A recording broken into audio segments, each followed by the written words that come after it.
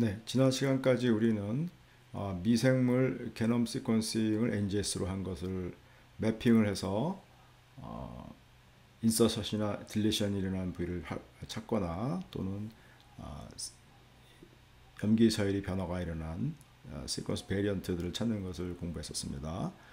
또한 어, 그 완다전 진원 프로젝트에서 어, 정상인의 DNA를 얻어다가 어, NCBI에 있는 표준 게놈에 매핑함으로써 역시 어, 한 개인이 가지고 있는 변이들을 발굴하는 것에 대해 공부했고요. 그걸 annotation 하는 것에 대해서 공부했었습니다. 또한 어, cancer 샘플과 정상 샘플 사이에 차이가 있는 somatic 체세포 어, 돌연변이를 발굴하고 어, 그걸 annotation 한 것까지 공부했었습니다. 이렇게 NGS는 짧은 DNA reads를 참조 게놈에 매핑함으로써 변이를 발견하는 데 사용되어 왔지만 또한 이 매핑된 read들의 depth를 이용하면 샘플에 존재, 존재하고 있는 어, 메신저 RNA 양을 측정하는 데 사용할 수가 있겠습니다. 즉 RNA를 sequencing함으로 인해서 메신저 RNA의 양을 측정할 수가 있다는 것이 되겠습니다. 발현량이 높았던 메신저 RNA는 그렇지 않았던 메신저 RNA에 비해서 더 많은 양의 분자가 시퀀싱이 될 것이기 때문입니다. 이런 RNA 시퀀싱에서는 세포 내에 있는 메신저 RNA를 추출하여 상보적인 CNA로, cDNA로 변환합니다. 아, 여기 밑에 보시는 것처럼 샘플에서 샘플이 뭐 컨디션 1은 이제 튜머고 컨디션 2는 정상 세포 이럴 때 각각에서 RNA를 뽑아냅니다. RNA는 메신저 RNA는 이제 poly-A tail을 가지고 있죠. 그거로부터 어, cDNA, complementary한 cDNA를 합성하게 되겠습니다. 물론 이제 cDNA를 cDNA를 어, fragment를 내서 만들고요. 또 적절한 사이즈로 선택을 한 다음에 양 끝에 어, linker를 달아서 NGS sequencing을 할 수 있도록 하고요.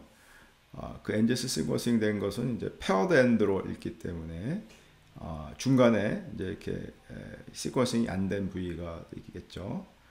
자, 그런데 이제 이런 것을 가지고 어, 이제 genome에다가 매핑을 하게 되면 어, 이렇게 이제 엑손 부위에만 매핑이 되고 인트론 부위는 이제 매핑이 되지 않는 그런 어, 현상이 일어나겠습니다. 그럼으로 인해서 어, 우리가 트랜스크립트가 트랜스크립트는 이제 splicing에 의해서 인트론이 빠진 것이니까 이, 이 트랜스크립트를 결국 이제 sequencing하는 것이 되겠죠. 어, 자, 이렇게 이제 cDNA로 변환해서 sequencing 하는데 그 이유는 RNA를 직접 sequencing 하는 것은 어, 실험적으로 쉽지 않은 반면에 어, 이 DNA를 sequencing 하는 것은 우리가 그동안 공부한 바와 같이 잘 개발이 되어 있기 때문입니다. 또 이렇게 cDNA를 만들기 위해서 역전사 효소를 이용해서 어, 메신저 RNA를 cDNA로 변화하는데요. 그 과정은 어, 실험적인 바이어스를 초래할 가능성이 이제 높다고 알려져 있습니다. 하지만 아, 동일한 조건에서 아, 여러 샘플을 비교한다면 이제 그런 일은 이제 그에 대한 우려는 많이 덜 수가 있겠죠. 이 그림에 보는 것처럼 아, 이 두 가지 서로 다른 샘플을 동일한 조건에서 아, 역전사 효소를 만들게 되면 통해서 cDNA를 만들게 되면 아, 그 리버스 트랜스크립션에서 오는 bias는 이제 상당히 이제 상쇄할 수가 있겠습니다.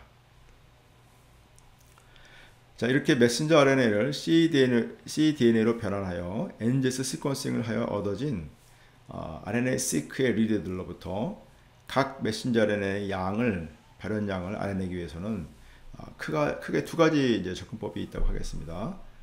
만약에 이 참조 게놈 서열이 고품질로 완성되어 있고 거기서부터 어, 전사가 되는 메신저 RNA들이 모두 다 잘 알려져 있다면 RNA-seq read들을 이 메신저 RNA에 직접 매핑하게 되, 아, 겠습니다 여기 보는 것처럼 map to genome이 아니라 이제 맵투 트랜스크립톰에다가 어, 매핑을 함으로 해서 어, 굉장히 효율적으로 매핑을 할 수가 있겠습니다. 이 전사체 서열의 합은 전체 게놈의 한 1, 1 2%밖에 안 되기 때문에 어, 굉장히 효율적인 그런 매핑이 되겠습니다. 굳이 에, 게놈에 매핑할 필요 없이 전사체에다가 직접 매핑한다는 것이죠. 반면에 이제 이렇게 전사체가 어떤 한 표준 개념에서 나오는 전사체가 잘 알려져 있지 않다. 그럴 때는 이제 RNA-seq 리드들을 게놈 서열에다가 직접 매핑하게 되겠죠. 그러면 마치 이제 엑솜 시퀀싱 데이터를 매핑한 것처럼 엑손 부위에만 매핑이 될 것입니다. exome sequencing 할 때는 이제 엑소 게놈을 무작위로 자르는 것이라다 어, 보다 보니까 엑손만 추출되는 것이 아니라 어, 엑손 주위에 있는 그 인트론도 일부 따라오게 되죠. 어, 근데 이제 반면에 이제 이 RNA-seq에서는 우리가 전사물을 sequencing한 거니까 이런 전사물, 전사체를 sequencing한 것이기 때문에 거기에는 이제 인트론이 전혀 시퀀싱이 될 수가 없겠죠.